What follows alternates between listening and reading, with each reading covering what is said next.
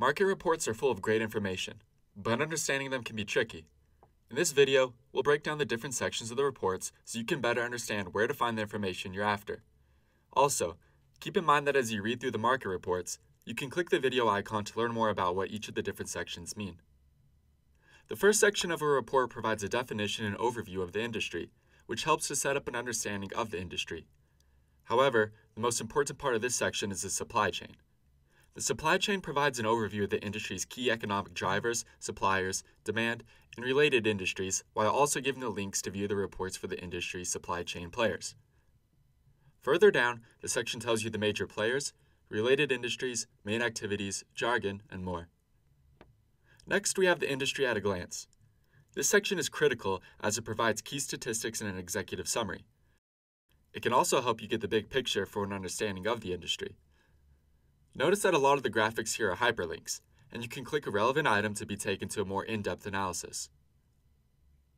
For industry performance, the section discusses key external factors outside the industry's control that affect the industry's performance, such as consumer trends and spending. It also discusses the industry's current performance over the last five years and the projected growth in the years to come. While industry performance looks at current trends, Industry Outlook looks ahead and provides insight into forecasted changes in key statistics, events, and themes to affect industry performance over the next five years. It also highlights the industry's current stage in its life cycle and what that means for its operators. Next, Products and Markets provides you with a deeper understanding of what the industry is, what it does, and how different factors affect its performance.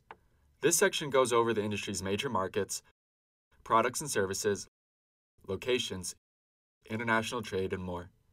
In the Key Selling Industry section, click the industry names to view those reports.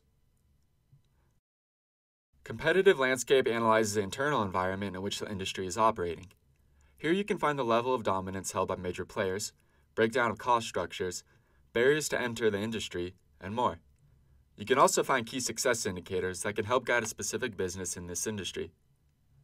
Relating to competitive landscape, there's also the major company section which informs all about the major businesses, including their market share, background information, and financial performance. Depending on the market, usually the three or four largest companies will be shown. After this, we have operating conditions. This section provides an in depth analysis of the external environment in which the industry operates, including capital intensity, technology and systems, regulation and policy, and so on. Overall, operating conditions can help with an understanding of what it takes to operate a business within an industry. Lastly, Key Statistics is great for providing a snapshot of the industry in the form of straight numerical data, including statistics on industry, annual change, and key ratios. If you need more help understanding market reports or navigating IBISWorld, feel free to reach out to a librarian.